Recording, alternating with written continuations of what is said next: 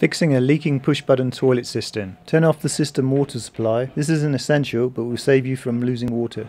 Take off the cistern lid. Now to remove the valve release. The unlocking method may vary slightly brand to brand.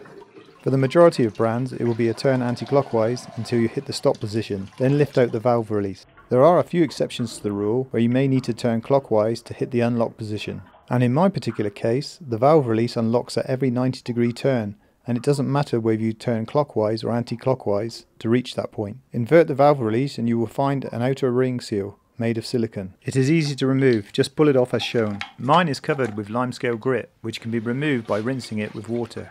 The grit present doesn't allow the silicon seal to sit properly and the water seeps through the gap. If your seal is torn or badly warped, you'll need to buy a replacement. Now I stretch the silicon ring seal back into position. Lock the valve release back into position.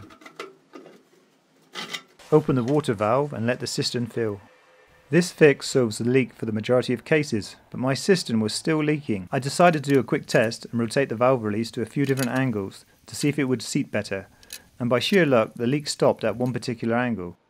As the buttons are now at a 45 degree angle, I had to rotate the lid buttons to match the same angle. If you have any comments or questions, please put them below. If the video was useful, please consider giving it a like or subscribing to my channel. Many thanks.